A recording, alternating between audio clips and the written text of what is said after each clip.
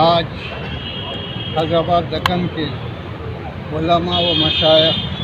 और तमाम तबक़ात के नुमाइंदा हजरात कमिश्नर पुलिस ऑफ़ हैदराबाद से मुलाकात करते हुए वसीम रजवी मलूम की जो हरकत हुई है उसके खिलाफ एहतजाजी नोट उन्हें दिया और उसके खिलाफ सख्त कार्रवाई का मुतालबा किया और उन पर यह वाजे किया गया कि कुरान मजीद हमारे ईमान की बुनियाद है इससे हम कोई मुफाहमत नहीं कर सकते इस बारे में हम खामोश भी नहीं रह सकते। इसलिए आपसे ख्वाहिश की जाती है कि सख्त से सख्त कानूनी कार्रवाई की जाए। इसका कुछ के खिलाफ में कोई कोर्ट में भी डाले। अब इसके बाद जो मरहल आएँगे उसके लिहाज से गौर करते हुए अदबन गुजारिश है ये बात को सीरियस ले इसे बाइकआउट करे समाज में आने ना दे इसके घर को पानी सप्लाई ना करे